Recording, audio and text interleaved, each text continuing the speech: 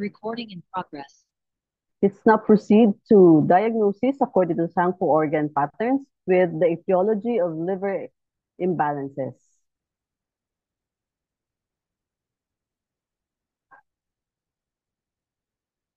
Due to its dynamic ascendant and expansive energy, the liver is adversely affected by limitations.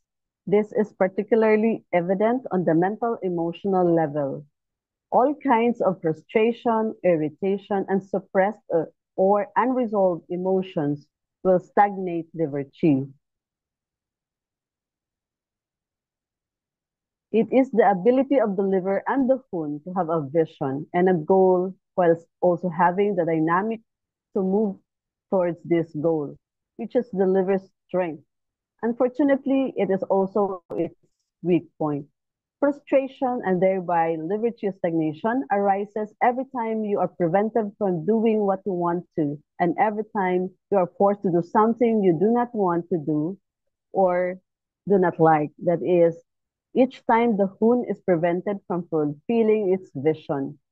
When we live in a society with other people, we will constantly be impinged upon by other people's visions and ideas. This means that you will, to a greater or lesser degree, have to make compromises and not do what you would ideally like to.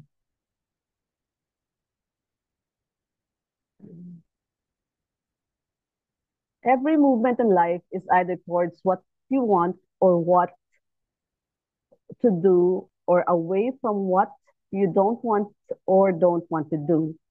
It may be that you are trying to achieve some goal, or it may be that you are trying to avoid something unpleasant. Each time you are blocked in this movement towards pleasure and satisfaction, or away from suffering or pain, it will stagnate the liver. There is a significant difference between how much your vision or ideal of yourself and your life is obstructed and how much you will be subjected to other people's vision of how much you can determine your own life or the number and size of the compromises that you have to make.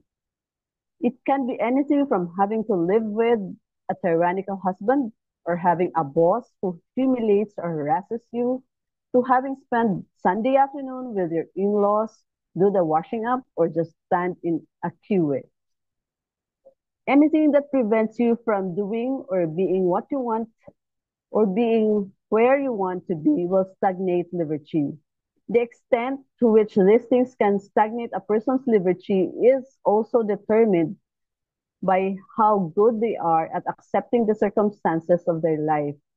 Two people faced with the same intransigent situation will have different degrees of dissatisfaction depending on their ability to accept the rea reality they are confronted with.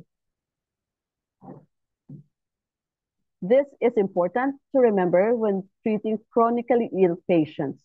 Being ill and not being able to live life as they would like whilst having physical or emotional pain will stagnate a person's liver chi.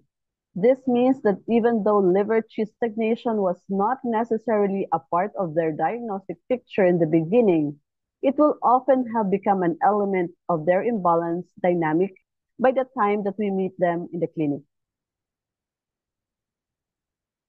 Anger, which is the feeling or emotion that has a resonance with liver and the wood phase, can affect the liver negatively in two ways.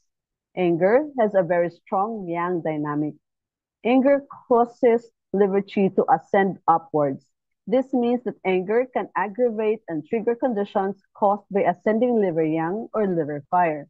On the other hand, because anger is so dynamic and powerful in its energy, it will have an equally powerful stagnating effect on the liver chi if it's not expressed.